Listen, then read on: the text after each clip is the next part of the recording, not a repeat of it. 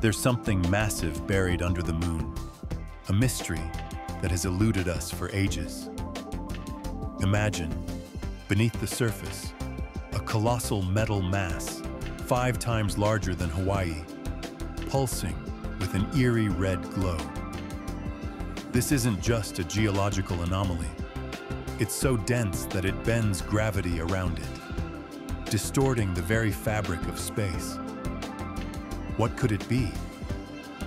An ancient technology left behind by a forgotten civilization? Or perhaps the remnants of a colossal asteroid impact? The possibilities are mind-boggling. As we gaze up at the moon, we might be looking at a cosmic secret hiding in plain sight, waiting for us to uncover its truth. The universe holds more than we can see. It's time to explore the unknown.